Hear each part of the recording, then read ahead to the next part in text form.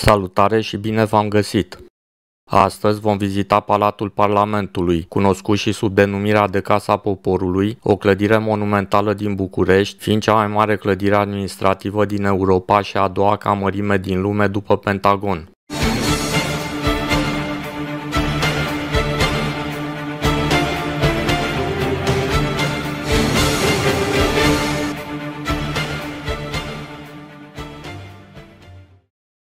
Clădirea a fost construită în perioada regimului comunist, la ordinul lui Nicolae Ceaușescu și reprezintă un simbol al megalomaniei acestuia. Construcția a început în 1984, a fost realizată de aproximativ 20.000 de muncitori și 700 de arhitecți sub comanda arhitectei Anca Petrescu, care avea doar 28 de ani la începutul proiectului. Clădirea are 12 etaje la suprafață și 8 etaje subterane, ocupând o suprafață totală de 365.000 metri pătrați. Este construită din materiale exclusiv românești, marmură, lemn, sticlă, cristaluri, mozaicuri, oglini și broderii. Inițial, clădirea era destinată să găzduiască toate instituțiile de stat, fiind parte dintr-un proiect megaloman care includea și Bulevardul Unirii, inițial numit Bulevardul Victoria Socialismului. Astăzi, Palatul Parlamentului găzduiește atât Camera Deputaților și Senatul, cât și Muzeul Național de Artă Contemporană și diverse evenimente de importanță națională și internațională.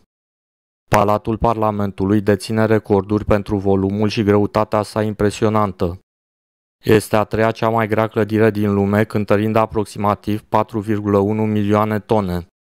De-a lungul timpului, construcția sa a fost controversată, fiind considerată un simbol al dictaturii comuniste și a risipirii resurselor, deoarece proiectul a implicat demolarea unor cartiere istorice și relocarea forțată a mii de locuitori. Vizitatorii pot explora camerele opulente, sălile de conferințe și pot vedea vederi panoramice asupra Bucureștiului din balconul clădirii. Printre sălile impresionante se află Sala Unirii, Sala Alexandru Ioan Cuza, fiecare remarcându-se prin decorul bogat și proporțiile gigantice. Clădirea are un număr imens de candelabre din cristal, 2800, iar cele mai mari dintre ele cântăresc tone. Sub Palatul Parlamentului există un buncăr imens, proiectat să fie folosit în caz de atacuri nucleare. Palatul Parlamentului, cunoscut înainte de Revoluția din 1989 sub numele de Casa Republicii sau Casa Poporului, măsoară 270 metri pe 240, 84 metri înălțime și 90 metri sub pământ, realizat în spiritul arhitecturii realist-socialiste. Clădirea Palatului Parlamentului este situată în partea centrală a Bucureștiului, pe locul care astăzi se cheamă Dealul Arsenalului.